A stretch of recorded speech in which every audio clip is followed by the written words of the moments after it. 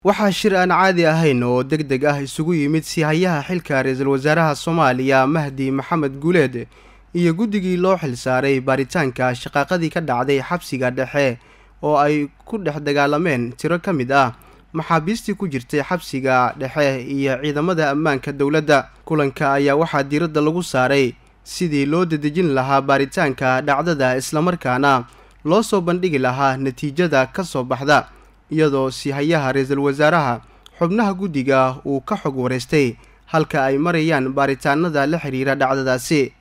Waxaa la magacaabay guddi farsamo oo fududeeya baaritaanka shaqaaqadii ay ku dhinteen tiro maxaabiisa iyo ciidamo ka tirsan kuwa dowladda oo ka dhacday gudaha xabsiga dhexe ee magaalada muqdisho. Wasiirka cadaaladda soomaaliya xasan xuseen xaaji ayaa warbaahinta uga warbixiyey kulanka dhex maray sihayaha ra'iisul wasaaraha soomaaliya iyo guddiga baarista shaqaaqadii ka dhacday xabsiga dhexe.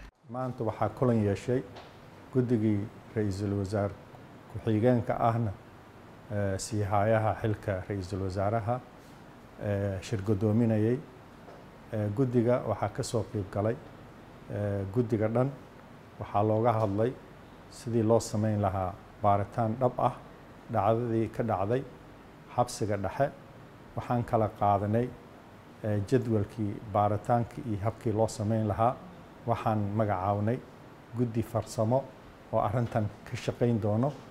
Waxaan rajaynaynaa in guddigan shaqo ballaaran iyo baaritaan ballaaran ka qabto shaqadii iyo shaqaaqadii ka dhacday xabsiga soo gudbiyo guddigan waxyaabihii ka ratibmi lahaa faldembiyeed ahaataa iyo dabacsanaan ahaataba wixii meesha ka dhacay in guddigan soo diyaariyaan.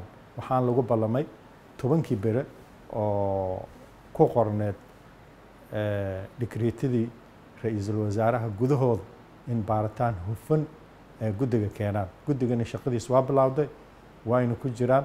Waxaan insha allahu rajaynaynaa inaan guul ka gaari doono maalmo ka hor ayaa xabsiga dhexe waxaa isku fara saaray.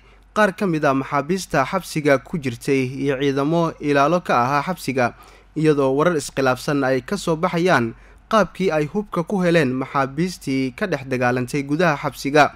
Inkastoo taliyaha ciidamada asluubta oo warbaahinta la hadlay uu sheegay in qaar ka mid a maxaabiista xabsiga oo ku guda jira cunno karin ay qorigii uu watay ka furteen askari ka tirsanaa ciidamada asluubta sidaasina shaqaaqadu ay ku bilaabatay. Waxaase laga wardhoorayaa natiijada ka soo baxda baaritaanka guddiga loo xilsaaray in ay soo baaraan dhacdadii xabsiga dhexe oo su'aalo badan dhalisay